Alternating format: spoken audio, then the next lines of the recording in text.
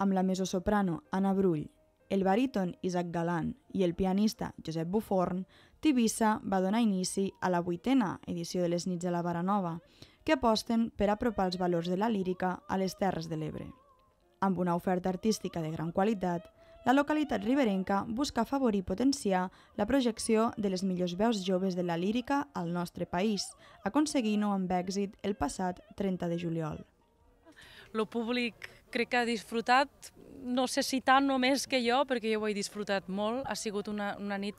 preciosa, ha fet molt bon temps, mos ha acompanyat tot, perquè la plaça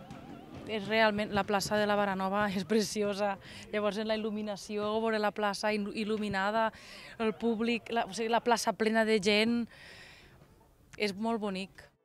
El programa, que s'allargarà fins el 21 d'agost, comptarà amb tres nits a la fresca més, on es podrà gaudir de música clàssica, sinfònica i del jazz. D'aquesta manera, la nit del 7, les Terres de l'Ebre gaudiran del concert de Robert de Roc i el Quintet Montpou, mentre la banda de música de Benissanet amenitzarà la nit del 13 i com a novetat d'enguany, la Paula Peso serà la protagonista de la nit del jazz. Ja són vuit les edicions que portem i per tant eh, no hem deixat de fer-les malgrat la pandèmia, no? tampoc ho vam fer l'any passat, que les vam mantenir,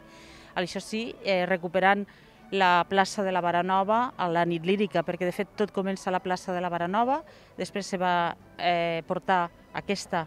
eh, actuació a l'església i hem recuperat l'entorn per, per les mesures, sobretot eh, les mesures eh, de la pandèmia. No? La pandèmia no ha aconseguit frenar el cicle, que tot i haver-se reubicat en edicions anteriors, ha recuperat la plaça que li dona nom com a escenari principal de les jornades.